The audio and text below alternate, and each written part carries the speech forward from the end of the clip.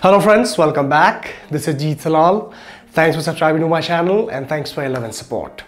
Guys आज मैं आपको बताने वाला हूँ ऐसे चार सप्लीमेंट्स जो आपको कभी भी नहीं लेने चाहिए यानी कि अगर आप वो सप्लीमेंट्स लेते हैं तो आप इन अ वे अपना पैसा बर्बाद कर रहे हैं अपना टाइम बर्बाद कर रहे हैं तो चलिए बात करते हैं इसके बारे में, और अगर आप मुझे इंस्टाग्राम में फॉलो नहीं कर रहे हैं तो वहाँ पे फॉलो कीजिए, क्योंकि हमारा वन मिनट वीडियो सीरीज़ चल रही है, और वो सिर्फ़ इंस्टाग्राम पे अपलोड हो रहा है। So without wasting any time मैं आपको सबसे पहले ये बता दूँ कि गाइस कोई भी सप्लीमेंट जब हम लेते हैं तो हमें ये पता होना चाहिए कि इसका क्या बेनिफिट है, और इससे हमें क्या मिल रहा है, और कितना पैसा हम इनमें, इसमें इन्वेस्ट कर रहे हैं, और उसके रिटर्न्स क्या क्या है। तो इन सब चीज़ों को ध्यान में रखते हुए सबसे पहली चीज़ यहाँ पे आती है कि आपकी मास गेनर्स। मास गेनर एक ऐसा सप्लीमेंट है गाइस जो बहुत ही ज़्यादा प्रचलित है और ज़्यादातर लोगों को इसी में पुश किया जाता है। जो लोग पतले होते हैं स्किनी होते हैं और कमज़ोर से होते हैं तो उनको कहते हैं, बेटा आप मास गेनर ले लो, आपको मसल साइज़ गेन हो जाएगा या आप चौड़े हो जाओगे, वगैरह वगैरह।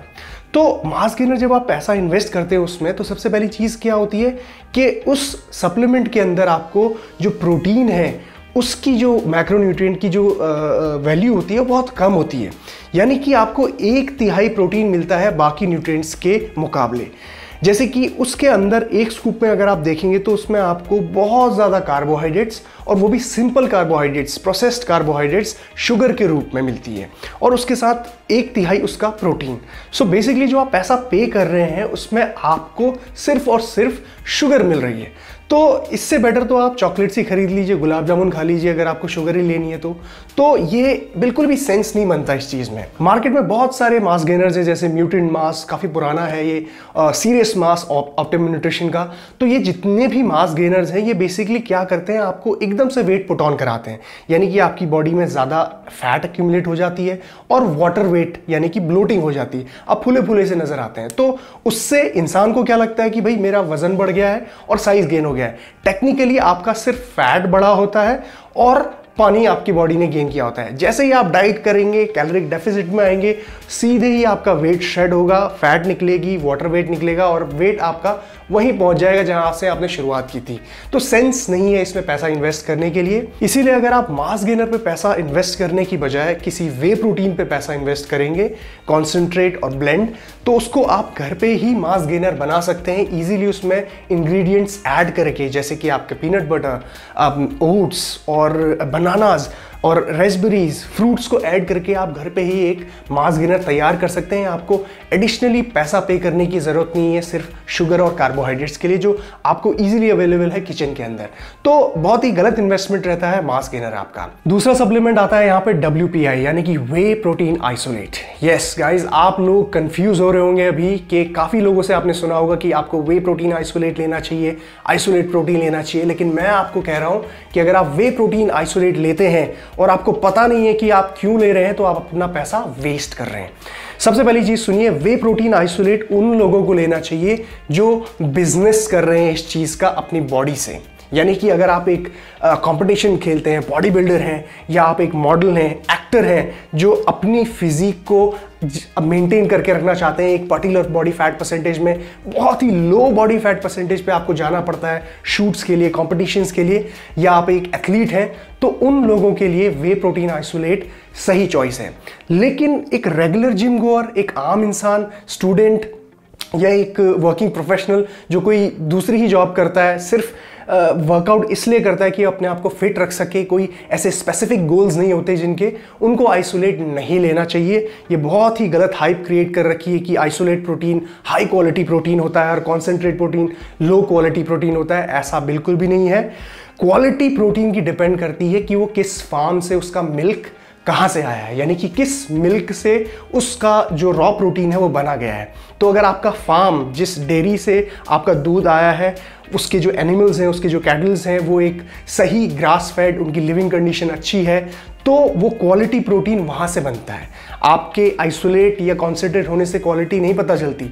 वो सिर्फ़ एक रिफाइंड फॉर्म है कॉन्सेंट्रेट प्रोटीन का। वे प्रोटीन को रिफाइंड करके कॉन्सेंट्रेट बनाते हैं देन आइसोलेट बनाते हैं। और इन दोनों को अगर मिक्स करें तो ब्लेंड प्रोटीन हो जाती है।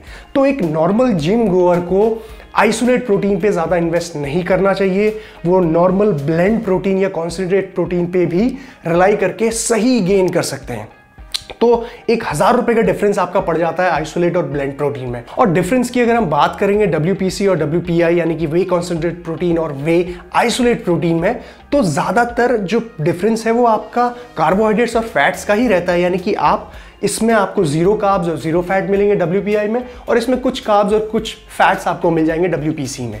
तो ज़्यादा कुछ डिफरेंस रहता ही नहीं है थोड़ा सा डाइजेशन फास्ट रहती है डब्ल्यूपीआई की आइसोलेट की और ज़्यादा कुछ डिफरेंस नहीं है। तो एक नॉर्मल जिम जाने वाले इंसान को इतना ज़्यादा पैसा इन्वेस्ट नहीं करना चाहिए। ऑलवेज बाय ब्लेंड प्रोटीन और कॉन्सेंट्रेट प्रोटीन जितने भी ब्लेंड प्रोटीन आते हैं, जैसे ऑप्टिमम न्यूट्रिशन का आपका गोल्ड स्टैंडर्ड प्रोटीन है, वो भी आपका ब्लेंड है। डायमेटाइज का आप लीट लेते हैं, वो भी आपका ब्लेंड प्रोटीन प्रोटीन है। तीसरा सप्लीमेंट आता है यहाँ पे टेस्टोस्टेरोन बूस्टर्स अब टेस्टोस्टेरोन बूस्टर्स और गोक्षुरा और अश्वगंधा को आप कंफ्यूज मत करिएगा। अश्वगंधा एंड गोक्षुरा ये एक तरह के हर्ब्स होते हैं जो हमारे प्राचीन काल से इंडिया में चलते हुए आ रहे हैं, जिनके बहुत बेनिफिट्स होते हैं रिकवरी के लिए बेटर स्लीप के लिए स्ट्रेस रिलीज़ करने के लिए लिबिडो आपका सेक्स ड्राइव बढ़ाने के लिए। तो इन इंग्रेडिएंट्स का इस्तेमाल करती हैं सप्लीमेंट कंपनीज़ अपने टेस्टोस्टेरोन बूस्टर्स में। अब बहुत सारी सप्लीमेंट कंपनीज़ जैसे मट मसल टेक का बनाती है आपका अल्फ़ा टेस्ट करके ईवीएल बनाती है टेस्ट करके तो बहुत सारी सप्लीमेंट कंपनीज़ टेस्टोस्टेरोन बूस्टर्स के नाम पे सप्लीमेंट बेचती है। उनमें इन इंग्रेडिएंट्स का इस्तेमाल किया जाता है। साथ में जिंक मैग्नीशियम डाला जाता है।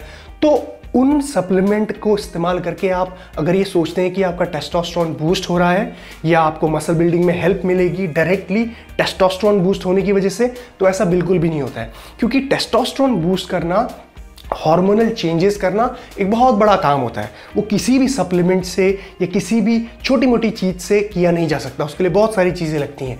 सही डाइट सही ट्रेनिंग सही स्लीप मैंने बहुत बार कवर किए हैं टॉपिक आप देख सकते हैं मेरे पुराने वीडियोस टेस्टोस्टेरोन के ऊपर टेस्टोस्टेरोन बूस्टर्स के ऊपर।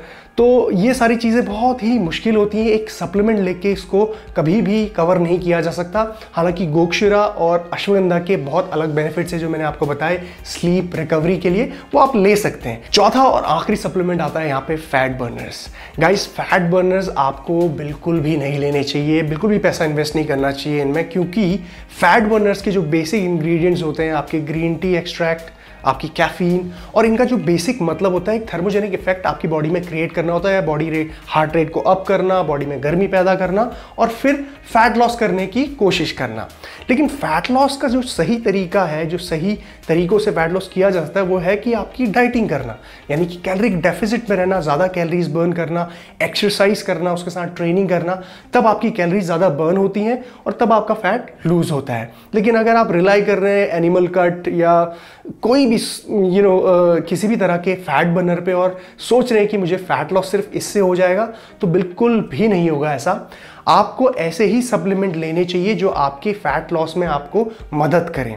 जैसे कि मैंने बहुत बार डिस्कस किया है आपका एल्कानेटिन के बारे में सीएलए के बारे में।